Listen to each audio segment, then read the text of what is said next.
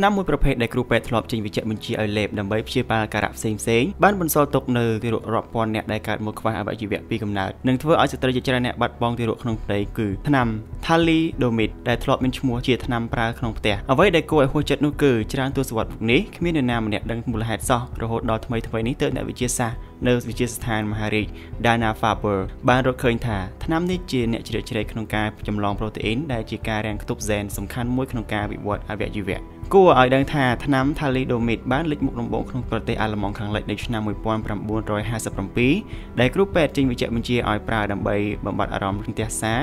គេងមិនលក់ក្រពះធ្វើទុកនិងអារម្មណ៍តានតឹងហើយមិនយូរប៉ុន្មានក្រោយមកវាបានក្លាយជាថ្នាំដ៏សំខាន់សម្រាប់ព្យាបាលអាការៈដែលឧស្សាហ៍កើតឡើងនៅពេលព្រឹកដូចជាការក្អួតចង្អោរជាដើម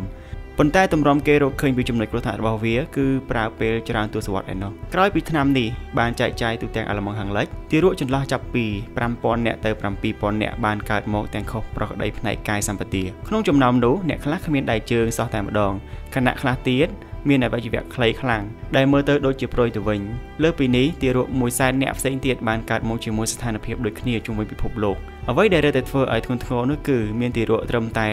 40%នៅប្រទេសអាល្លឺម៉ង់ខាងលិចនិង50%នៅប្រទេសផ្សេងផ្សេងទៀតប៉ុណ្ណោះដែលអាចរស់រានមានជីវិតក្រោយពីចាប់កំណើត